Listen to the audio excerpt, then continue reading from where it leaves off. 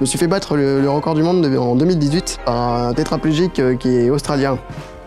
Ça me fait un peu chier je lui mette des bâtons dans les roues. Il m'a humilié en place publique et j'aime pas ça. Salut en vrai, je m'appelle Geoffrey Bugnot, humoriste, bienvenue sur la chaîne.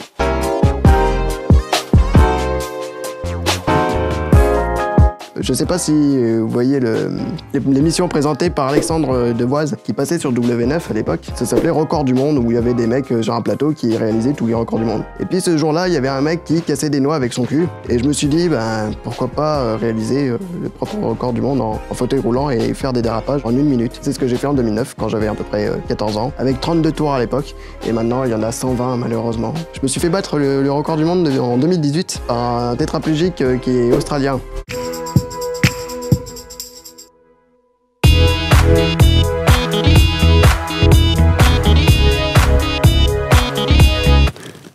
Je vais essayer de booster un peu le fauteuil pour euh, le battre à 121, cet enfoiré.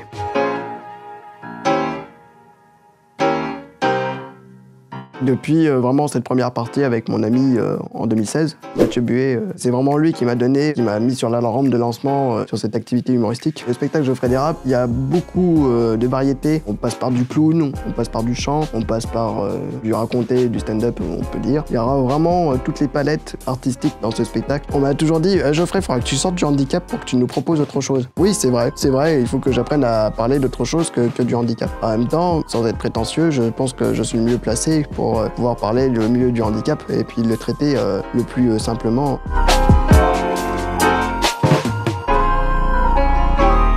continue à tourner un peu avec mon spectacle ferai des même si le 31 octobre prochain, ça sera, je pense, une des dernières fois que je vais faire mon spectacle ferai des vraiment en public dans un théâtre. Et là, je suis en cours d'écriture du deuxième spectacle. Moi, je peux balancer déjà un peu le titre. Alors, c'est non, je déconne, je vais pas le balancer tout de suite, attends. J'ai pas encore terminé, petit coquin, là. Ah, même pas, non, non, ça sera pas Geoffrey Drift.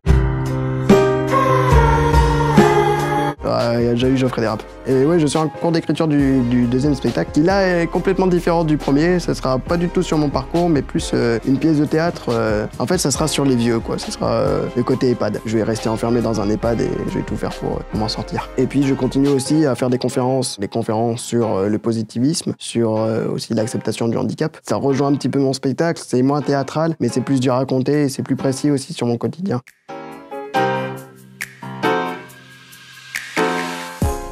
Je suis allé euh, dans un centre spécialisé euh, pour jouer mon spectacle. Et puis, tu avais un, handicapé euh, moteur et cérébral. Il avait une pédale pour conduire le fauteuil et un autre bouton avec son pied gauche pour pouvoir parler avec un synthétiseur vocal. Je jouais pour 14 heures et puis, lors du midi, il essayait de parler avec moi. Il disait Tu fais des sketchs? Ah, tu fais des sketchs Je fais Oui, oui, je fais des sketchs, François. Bah, tu vas voir, justement, mon spectacle, ça va être sur le handicap. J'espère que tu pourras passer un, bon moment. Bon, en tout cas, ça me fait plaisir d'être là.